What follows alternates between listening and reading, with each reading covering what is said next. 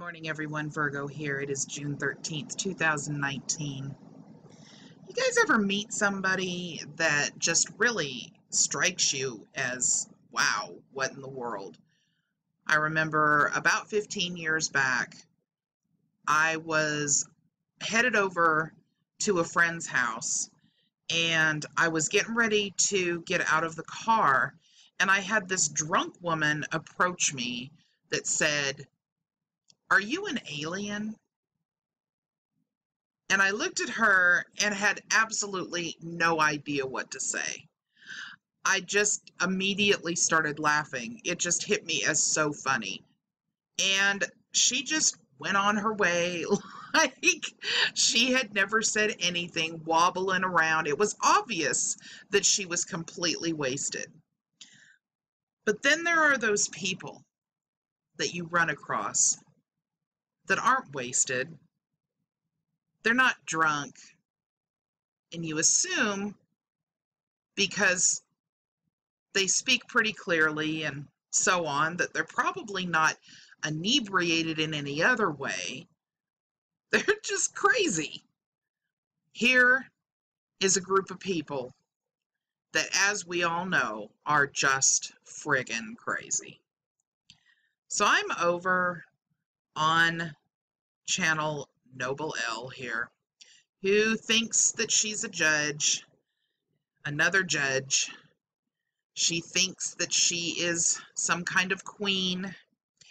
And apparently, due to the fact that she has made a large amount of videos about placing fake liens on people, how to go about doing that, um, taking donations for learning how to do that, for her teaching you how to do that, so on and so forth, that a lot of people have gotten irritated. And either they've gotten irritated because they have been ripped off, um, they've been providing donations to somebody who's giving them bogus information about filing fake liens, or there are people that are getting into trouble for doing it and they're ticked off at her for suggesting it's something you can legally do.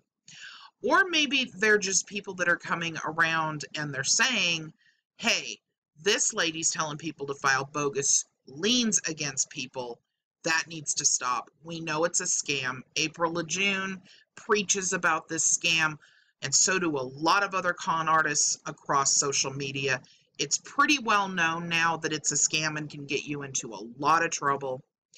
This person honestly just does not get it. A bunch of people, I guess, I'm assuming, I don't know.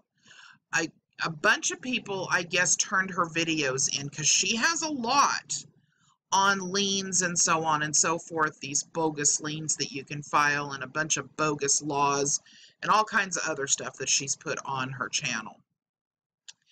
Um, I just started investigating this this morning because I actually received, thank you, Ian, by the way, for sending me this um, information that she has put out there. Notice the weirdness in this. Okay, so YouTube support, which she is showing right here, that you can see, has sent her a letter that has said, We've received a complaint that you have many spam videos on your YouTube channel. But basically, you don't have to worry because we're going to check it out. And if we find out that it's true, we're going to take your channel. Now, um, she goes on and puts up this video after they tell her in here it would be best if you don't make any more videos until our review is done. So what does she do?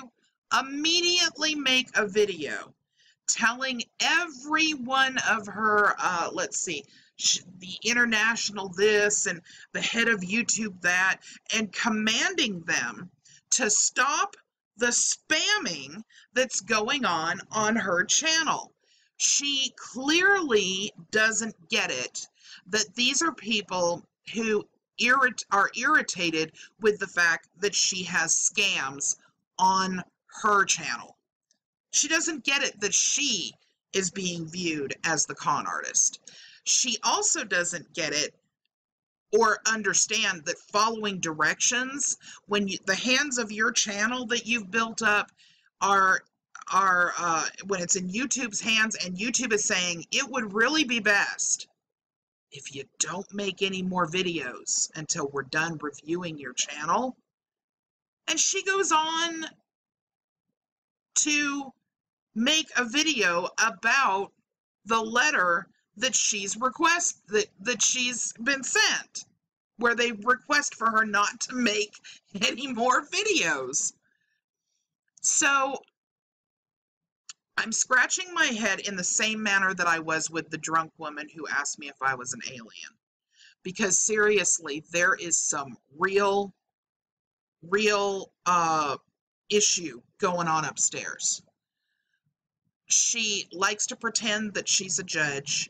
She likes to pretend that she can file liens against whoever. In this video alone, she claims that she will charge whoever it is that she has found out that has reported her channel.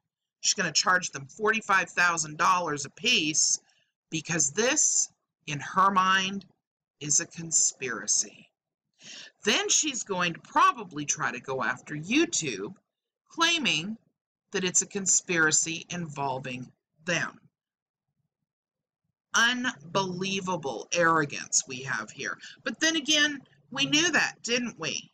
Because this is just the west side chapter of the Moorish American consulate that Sharon Tracy Gale Bey is involved with.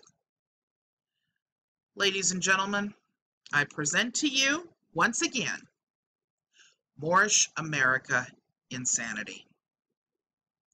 Hope everybody has a great day. Bye bye.